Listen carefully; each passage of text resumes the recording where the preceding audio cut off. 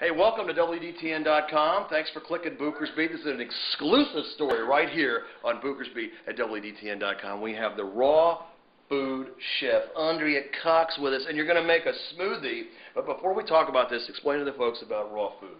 What exactly is that? What do you do? What do you make? Raw food is live food. I, I like to say live food, live body, dead food, dead body. So if you feed your body live foods, you have longer hair, thicker hair, better Yeah. skin, teeth, nails, everything. And you were sick, right? And then you Mhm. said, I'm going to heal myself by raw foods, and you did. I did, I did. I got sick. I had hypothyroidism and gained a lot of weight Mm. and went on a living food way of eating and it's it just tastes good. We're going to make rock and raw nog today. It takes like 3 minutes. So anyone who says raw food takes too long in the kitchen, they're wrong. Yeah, there you go. Then people do say that, don't they? Oh, that's too long. Go uh, heat something up in the microwave. And this recipe is in my book, which can be found on my website, thehealthyhaven.net, and the book is. is called Rawlicious Recipes. How many recipes do you have in there? Um, I have over 100 pages of recipes, so Mm. I'm not sure the exact count. And I bet you just feel better, don't you? Just feel better. Yeah, you just have more energy. You get out of bed at like 6 a.m. and want to go run and Wow. feel good. So what we have here, we have coconut milk by a company called So Delicious. Mhm. It's unsweetened. I personally make my own coconut milk, but this is good in a pinch.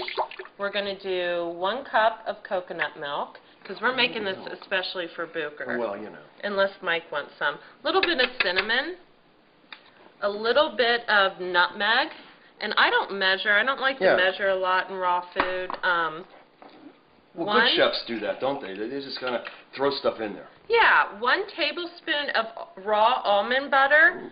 And you gotta like when the oil sits on the top because that's good healthy oil for your that. skin and your hair and your nails. And then what we have here are dates. And dates are a sweet fruit.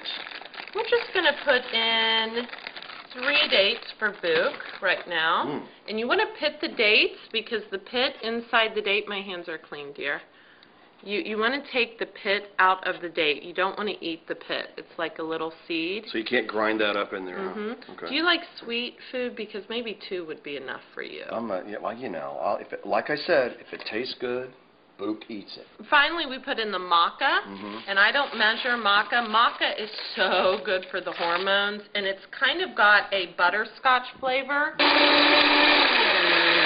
This is so good. It's going to taste like butterscotch. Look at that. Ooh, that's got a nice color to it. too. Yeah, it's just really thick and good, and maca is so you're gonna feel good all So day. the maca makes the difference. The maca makes the difference. It's gonna be a little thick. You might not. I don't know. Some people like maca, some people don't. That's really good. No, really, honestly. Honest to Pete, it is. It's really good. Try that at home. Can you try that at home? What think? like butterscotch. It's really healthy for you. You know, and I bet that would fill you up. It does. wouldn't it? If I drink that, I can go about my work all day long and not eat until dinner. And that took how long? That was like a, a minute and a half to make that. in all of two minutes. Yeah. Mm. That's really good. And that recipe's in the book. It's called Rock and Raw Nog. All right, well, we appreciate you sharing the recipe. Nice to see you again. And, and before we go, talk about the Food Network show. What's happening with that? Are you on? Are we helping? Should we get? Do I need to make calls? You do need to make calls. I'll do it. I'll do you it. do, because I've done nothing yet. So you need to make calls. Oh, look, all dirty. Oh, we have. Oh, I can't show the. Look, we got. Well, that's every every good chef makes a little mess now and then, right? There we go. All right, continued success to you, young lady, and maybe we'll see you again. We'll share some more recipes. Thank you, Boo. Jim Bucher for WDTN.com.